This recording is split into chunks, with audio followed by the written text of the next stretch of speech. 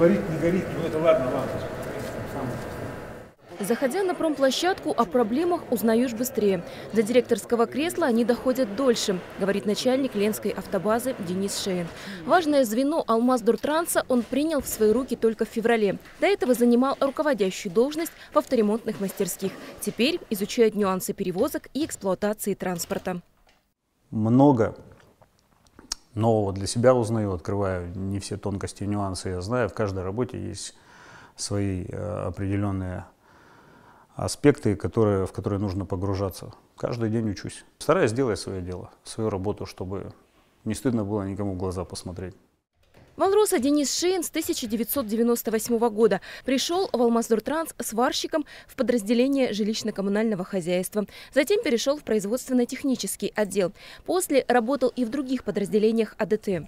А вот у Игоря Альшанского, начальника Ленского речного порта, в трудовой книжке единственная запись. На родном предприятии мужчина работает 30 лет. В 92-м пришел сюда мастером по грузоразгрузочных работ. С тех пор менялись только должности. В 2019 году Игоря Альшанского назначили начальником порта. Ответственность за большая это возлагается на людей, за людей, за производство, за предприятие, то, чтобы оно работало, то, чтобы здесь, как говорится, люди были э, довольны своей работой.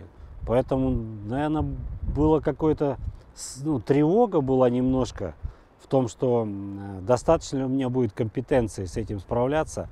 Ну, потом, поработав какое-то время, в принципе, считаю, что нормально предприятие работает, э, показатели хорошие.